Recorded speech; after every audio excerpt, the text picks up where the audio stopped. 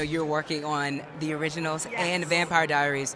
Season five is right around the corner. What is in store oh, for God. all of the fans? The Vampire Diaries is so great right now. It is bananas. It is, you know, you've got Silas running around pretending to be Stefan. You got Stefan drowning in the bottom of that quarry. You've got Elena and Damon living happily ever after, completely unaware, A, that Bonnie's dead, B, that Stefan is in mortal peril. Um, you know, Jeremy's back and has to explain how the hell he's going to school again when everybody, like, thought he was dead for the entirety of his junior year, sophomore sophomore year, ageless year.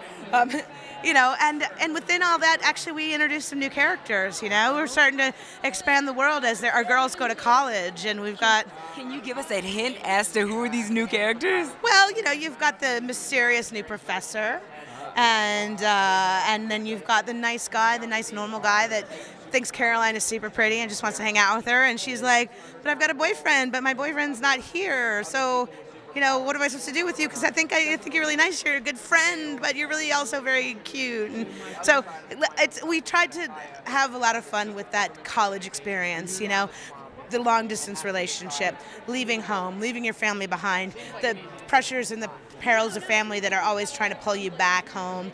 Um, and, and then in the midst of all that, of course, you know, just trying to figure out what the heck it is that Silas wants, why he's still around, and what he's up to.